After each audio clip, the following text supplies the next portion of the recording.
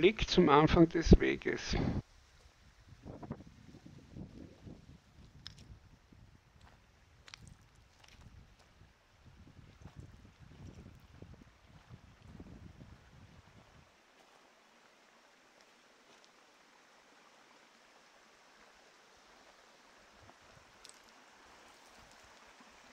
Ein Wildbach, der von oben einmündet.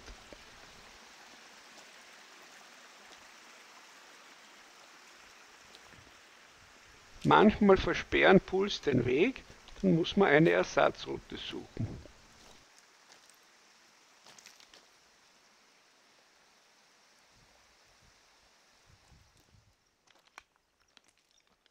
Der Rückweg durchs Wadi Muriatin.